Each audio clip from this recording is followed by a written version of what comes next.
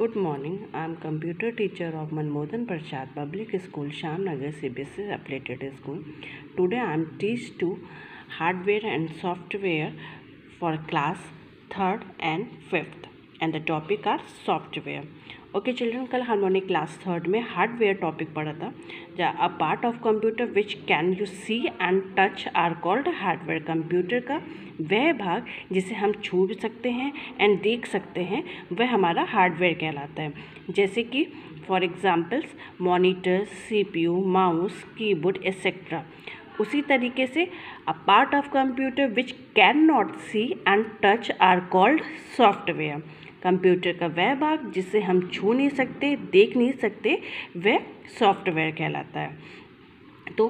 अब हम ये जानेंगे what is the software and what is the meaning of software software is a set of instructions that tell the hardware how to perform a particular task on a computer system. Software निर्देशों का वह set है जो कि हमें ये बताता है कि कंप्यूटर सिस्टम में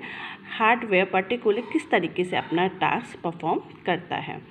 a computer can not work without software कोई भी कंप्यूटर बिना सॉफ्टवेयर के काम नहीं कर सकता है computer software can be divided into two parts computer software दो भाग में डिवाइडेड है firstly system software and second है एप्लीकेशन सॉफ्टवेयर तो